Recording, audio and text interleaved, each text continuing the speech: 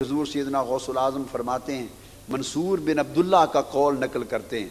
वो फरमाते हैं, मैंने शेख अबा अली रोज़ बारी से सुना, वो कहते थे कि आफत, बला और मुसीबत तीन तरीक़ों से दाखिल होती है। इंसान की ज़िंदगी में आफत और मुसीबत कितने? तीन रास्तों से from three ways it enters दाखिल होती है। वो क्या? सकम तबीआ। व मुलाजमतुलआदा व फसादुस्सहबा फरमाया, जिन तीन चीज़ों से ये दाखिल होती है, वो क्या है? आपने फरमाया, तबीयत की बीमारी और आदत की मुलाजमत और सोबत का फसाद। आपसे पूछा गया, तबीयत की बीमारी क्या है? फरमाया नज़र वल इस्तिमता बिल हराम वल गीबा फरमाया ज़ुबान से गीबत करना, ज़ुबान से गीबत करना और हराम का माल खाना। फरमाया, ये तबीयत की ख़राबी है। इससे इंसान की हलाकत आती है। गीबत न किया करो। किसी की चुगली और बुराई न किया करो। अगर बुराई करनी है अपने मन में तो अपनी बुराई किया करो। अपनी बुराई को देखो। किसी दूसरे की बुराई को न देखो, ये रफाकत है। हाथ खड़ा करें। इस रफाकत पे कायम हो जाने के लिए तैयार हैं? बोलिए भाई।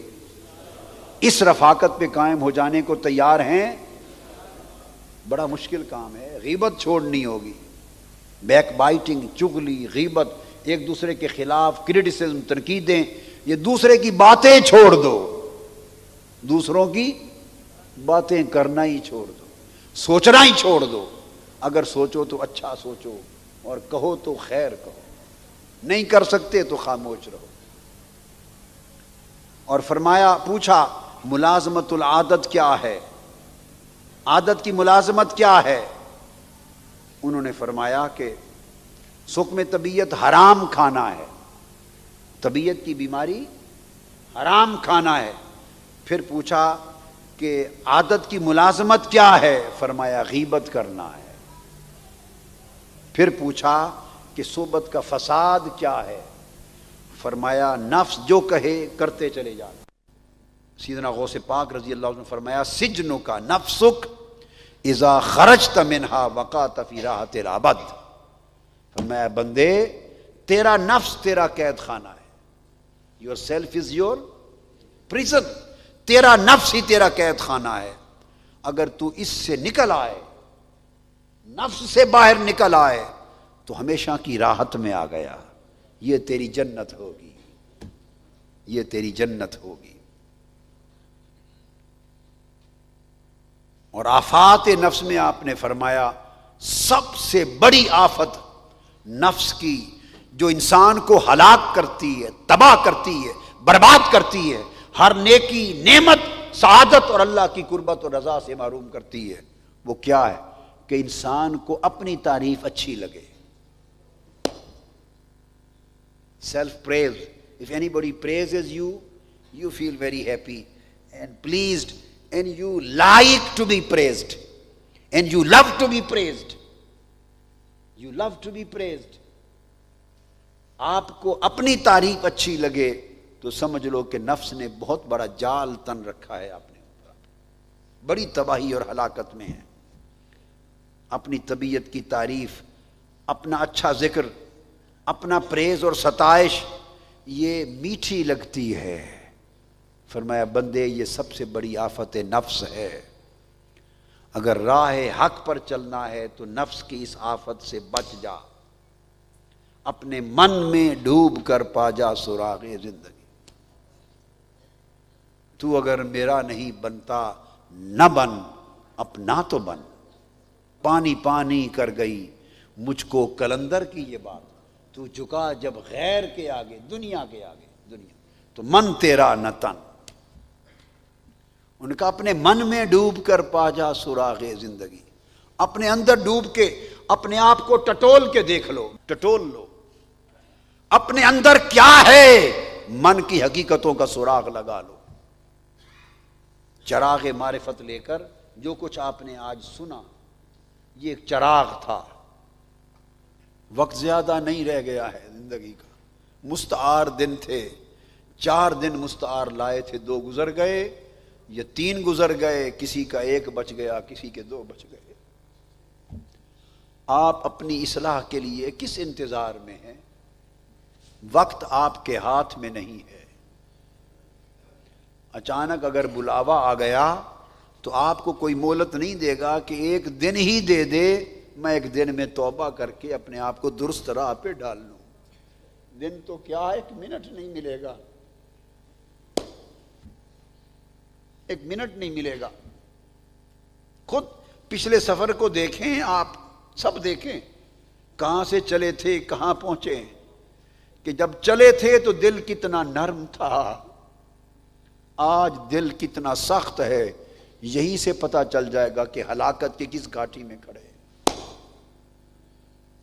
जब सफ़र शुरू किया था शऊर का तो दिल कितना नरम था, दिल में कितनी रिक्कत थी, कितना रोना आता था, कितना गिरिया आता था, कितनी बुका थी। मिलदे बीरों दे ते बिछड़े बीरों दे ते मिलदे टुरदे राह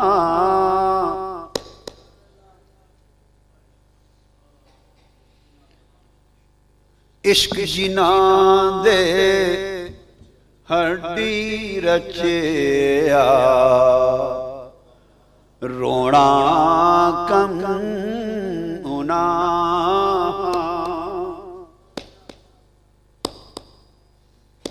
मिलदे भी रोंदे बिछड़े भी रोंदे ते मिल रोंदे टुरदे राह क्यों मिलते रोते हैं मिलने में रोना क्यों आता है दो दोस्त मिल रहे हैं रोना क्यों आता है इसके कई माना है एक तो इसलिए रोना आता है कि मुलाकात के बाद हिजर है। अभी मिल रहे हैं, बिछड़ जाएँगे। मुलाकात होती बिछड़ने के लिए। तो जब मिलते हैं तो मुलाकात भूल जाते हैं, बिछड़ने का खौफ रुलाता है। हाय। तो मिलते हैं तो बिछड़ने को याद करके उस खौफ से रोते हैं। और जब बिछड़ते हैं तो मिलने की तड़प में रोते हैं। मिलने की तड़प में रोते हैं। ये एक माना है। एक माना और समझ में आता है। मिलते भी रोंदे, बिछड़े भी रोंदे। दो जो मिलते हैं, ये आपस में हर किसी के मिलने बिछड़ने की बात नहीं है। वो भी आशिक है इलाही का। ये मिलने वाला भी आशिक है मौला का। वो भी उसकी तलाश में मारा मारा फिरता है। ये भी उसके इश्क में मुलाकात की तलब में मारा मारा फिरता है। न उसे यार मिल रहा है, न इसे यार मिल रहा है। दोनों बिछड़े हुए हैं। जब ये आपस में मिलते हैं तो दोनों का महबूब एक है। हाय हाय हाय। और दोनों का गम एक है, बिछड़ जाना। जब यार आपस में मिलते हैं तो दोनों अपने यार को याद करके बिछड़ने में रोते हैं। हज़रत मौलाना रूम ने भी ये बात कही। बिछड़ने पर रोना आता रहता है। विष्णु अजने चूही कायत मी कुन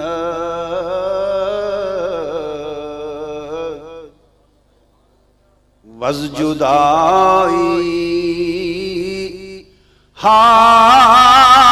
हाशिकायत मी कुन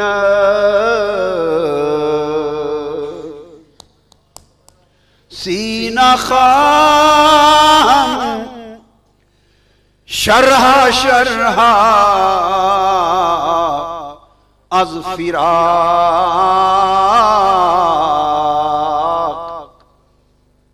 ताब गोयम शरह दर्द इश्तिया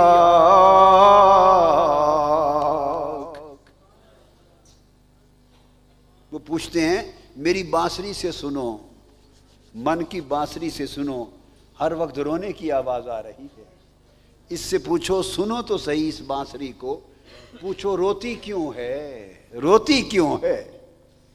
वो कहती है, बिछड़ने को याद करके रो रही हूँ। हाय, बिछड़ने के हाल पे रो रही हूँ। एक वक्त था महबूब के पास रहते थे। बिछड़ गए। अब उस बिछड़ने पर वतन से बेवतन हो गई, रूह कहती है। देश से परदेसी हो गई, उस बिछड़ने पर रो रही हूँ। और कहती हूँ कि मुझे अपने वतन के दरख्त से काट दिया गया है। जब से काटा गया है अपने दरख्त से, अपनी असल से, तब से रोने के सिवा कुछ आता नहीं। फिर मौलाना रूम कहते हैं, सीना खाम, शर्रा शर्रा विराट फरमाते मैं भी चाहता हूँ कि अपने दर्द गम सुनाऊं, मगर सुनाऊं किसे? कोई ऐसा सीना मिले जो दर्द और हिजर के गम में खुद फट चुका हो। हिजर के दर्द में जो सीना खुद पाश पाश हो चुका हो। शरहा शरहा टुकड़े टुकड़े हो गया हो। लीरा लीरा हो गया हो। हिजर के दर्द में, गम में खुद फट गया हो। कोई ऐसा सीना मिले तो उसे सुनाऊं। किसको सुनाऊं? सुनने वाले को खबर ही नहीं कि हिजर क्या है। विशाल क्या था? हिजर की खबर किसे हो? कैसे हो? उसी को होगी जिसे विशाल याद हो। जिसे विशाल याद होगा उसी रूह को हिजर का दर्द होगा। और जो भूल ही गए हैं, उन्हें कौन सा विशाल याद रहा, कौन सा हिजर याद रहा? कौन सा मिलना याद रहा, कौन सा बिछड़ना दर्द दे गया? सबसे पहले नई वीडियोस को हासिल करने के लिए शेखुल इस्लाम डॉक्टर मोहम्मद ताहिरुल कादरी के ऑफिशियल यूट्यूब चैनल को सब्सक्राइब करें और बेल आइकन क्लिक करें।